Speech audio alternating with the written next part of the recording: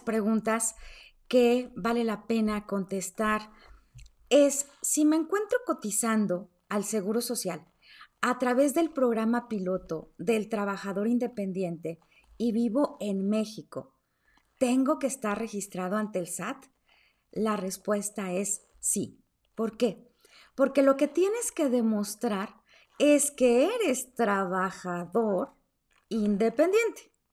Y la única forma de comprobar que eres trabajador independiente es que estés registrado ante el Servicio de Administración Tributaria con alguna actividad que realices y por esa actividad obviamente tendrás que pagar algún impuesto porque esa actividad va a generar un ingreso y ese ingreso será el que utilices de base para poder registrarte en la página de internet del Seguro Social en la plataforma del el trabajador independiente.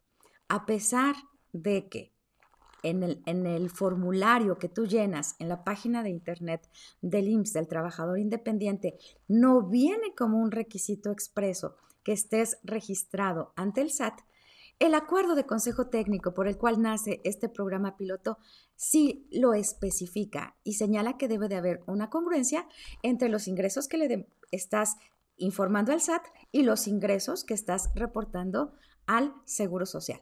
De modo que no pongas en riesgo la cotización que estás haciendo como trabajador independiente al no estar regularizado en materia de impuestos ante el Servicio de Administración Tributaria.